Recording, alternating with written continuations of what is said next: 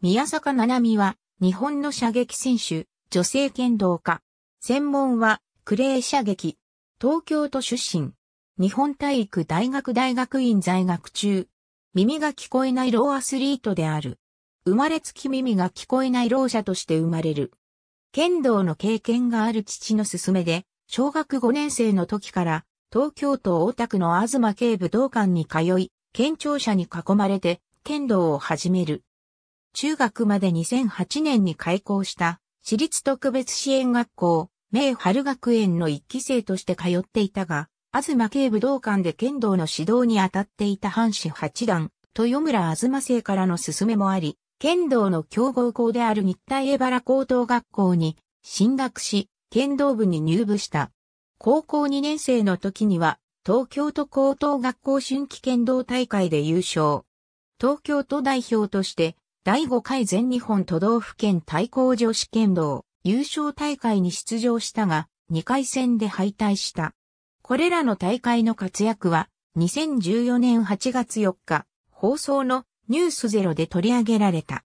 高校卒業後は、日本体育大学体育学部武道学科に進学し、剣道部に入部。剣道を続ける傍ら、2017年の大学2年、政治、日本財団より、日本体育大学グループ在籍学生を対象としたパラアスリート奨学金制度が設置され、理事長、松並健志郎からの推薦もありクレー射撃にも取り組み始める。2017年度、日本財団パラアスリート奨学金小学生となり、4月から銃砲所持許可に関する勉強を始め、11月27日に玉川警察署より銃砲所持許可を受けた。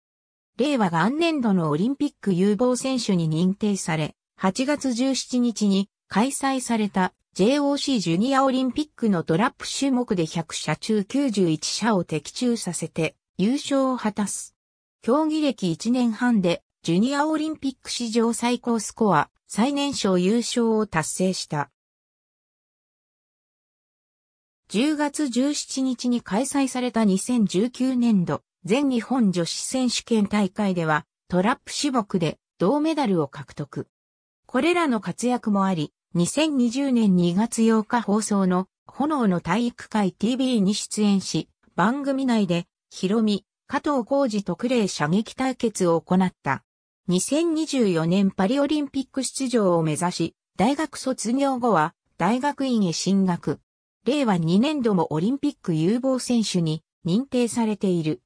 8月22日23日に開催された JOC ジュニアオリンピックのトラップ種目で2年連続優勝を達成。ありがとうございます。